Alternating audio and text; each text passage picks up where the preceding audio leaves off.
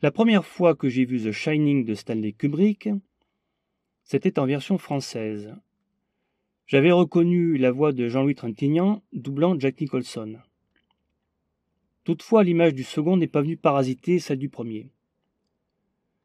Évidemment, ce n'est pas le même type d'image. Mais dans ma réception du film, disons que Jean-Louis Trintignant hantait le personnage de Jack, Nicholson et Torrance, comme les esprits de l'Overlook. Lorsque j'ai redécouvert le film en version originale, j'ai relevé après coup un décalage provoqué par la traduction. Les parents de Danny l'appellent Canard.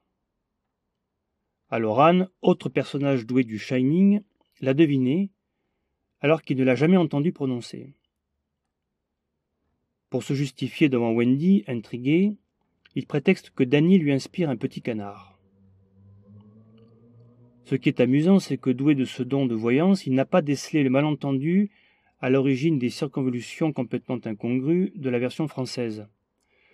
En effet, il ne peut pas avoir entendu le mot canard parce que les parents de Danny l'appellent Doc, comme dans la célèbre expression de Bugs Bunny What's up, Doc?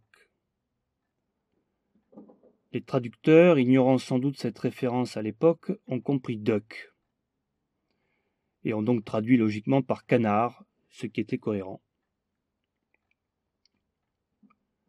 Dans une autre séquence marquante, Wendy s'approche de la machine à écrire où Jack est censé travailler à son roman depuis plusieurs semaines. Mais c'est une seule phrase qui est répétée sur des centaines de pages dans des dispositions variées. L'effet de terreur provient uniquement des mots, par la combinaison de leur sens, leur absence de sens dans le contexte en l'occurrence, et de leur impact visuel. Bien que disant autre chose, ils traduisent exactement, littéralement finalement, la folie de Jack. Son ampleur se lit page après page, non pas par ce qui est écrit, mais par ce qui y est inscrit. Dans un autre film d'horreur, Zeder de Pupi Avati. Stefano reçoit en cadeau de sa petite amie Alessandra une machine à écrire, électrique celle-ci. Impatient, il se lève en pleine nuit pour commencer à y taper son roman. Mais après avoir rempli une page, le ruban saute. Stefano démonte alors le capot et sort la bobine qui ressemble étonnamment à une bobine de film 8 ou Super 8. Il se met à dérouler le ruban, justement de la même façon qu'on déviderait une pellicule, et remonte ainsi lettre par lettre, image par image, pourrait-on dire, les phrases qu'il vient de taper jusqu'au titre.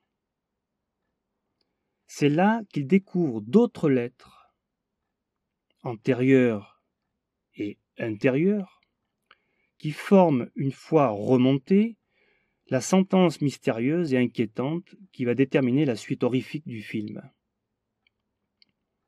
la machine à écrire cache, ou plutôt expose plein cadre, le mécanisme qui va piéger les personnages. Dans Ring de Hideo Nakata, la complexité de la machine monte d'un cran.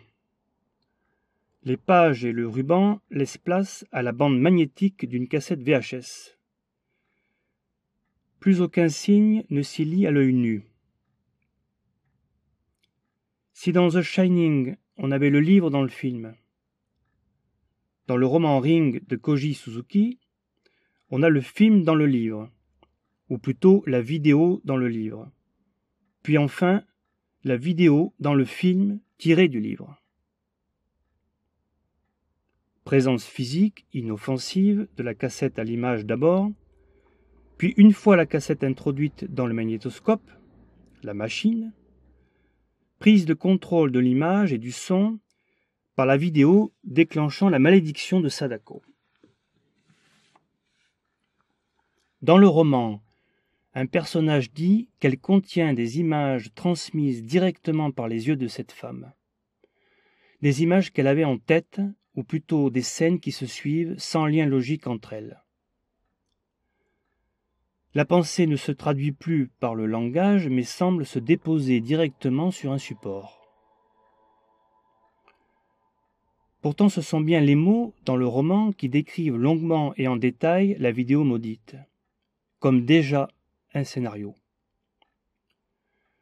Elle a d'ailleurs été transposée, mot à mot pourrait-on dire, dans une première adaptation, trop littéralement justement, alors que l'étrange objet audiovisuel, enquisté dans le métrage de Nakata, en influence la temporalité. Après avoir supplanté le film durant l'intégralité de sa diffusion, jusqu'à l'irruption de la neige et du bruit blanc, l'absence de toute image et son, il impose à la suite du récit de s'inscrire dans la semaine impartie pour conjurer le sort.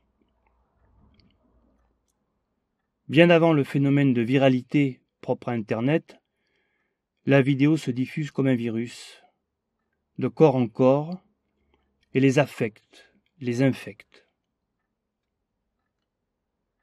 Des mots affleurent encore dans ce qui reste avant tout un message mais il semble en être un constituant physique avant d'être des signifiants plaqués sur des images. Tout, visage, paysage, couleur, forme, mouvement, grain, cadre, rythme, et donc mot, appartient à l'unique flux de la pensée. Dans le roman et sa première adaptation, un message apparaissait à la fin. Si vous ne voulez pas mourir, à partir de maintenant, suivez mes instructions. À savoir, mais l'image change encore, un changement radical cette fois-ci. Une publicité très connue que tout le monde a vue au moins une fois. On dit que le cinéma français est intellectuel. Je vois vraiment pas pourquoi. Pour l'aimer, elle allait le fuir, le dédaigner pour ne pas l'enivrer. Quelle liberté. Les instructions ont été effacées c'est-à-dire qu'on a enregistré par-dessus, écrasé, comme on dit dans le jargon audiovisuel. Nous recevons la publicité d'abord comme un fragment de flux télévisuel pris au hasard. Nous ne la voyons pas. Du moins nous la reléguons en arrière-plan. C'est sa fonction de masque, d'écran, qui occupe le premier plan. La neige et le bruit blanc qui l'accompagnent, qui sont pourtant en deçà de l'image et du son, ont une valeur dramatique dans le film, par leur irruption soudaine à la toute fin de la vidéo, alors que cette publicité, produit audiovisuel complexe et cohérent, devient l'équivalent de rien.